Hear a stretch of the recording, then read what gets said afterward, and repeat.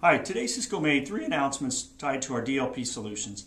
Uh, one of those is the email security appliance with new DLP capabilities, the other web security appliance with additional DLP capabilities, as well as a DLP assessment service. So all three strengthening our DLP solution stack. But one we'll share with you today is some of the data from a survey we did late last year around data loss best practices inside organizations.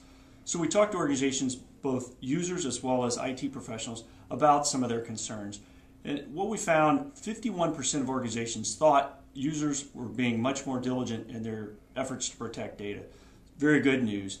That same group said that 39%, or at least 39% of them, were concerned that their users might be the most risky place they could disclose data. Most of those negligent, not malicious. So good users doing the wrong thing with data could cause the data to be lost. When we asked what were the top concerns as far as how the data might get lost, Email came in at 25%, so near the top of the stack for an organization's concern how they would lose data.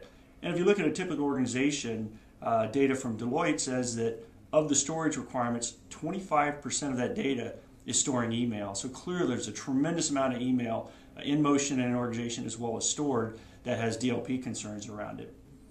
Then we ask organizations, you know, when they have data loss incidents, what happens? And one of the what we found was seven in ten organizations had attributed inappropriate application use or web use to over half their data loss instances. So clearly, uh, you know, not only email but also inappropriate applications as well as web applica- or web usage can lead to data loss prevention. So, you know, these studies combined with what we're uh, announcing today really reinforces our ability to help our customers deal with, you know, email and web as a key data loss uh, pain point.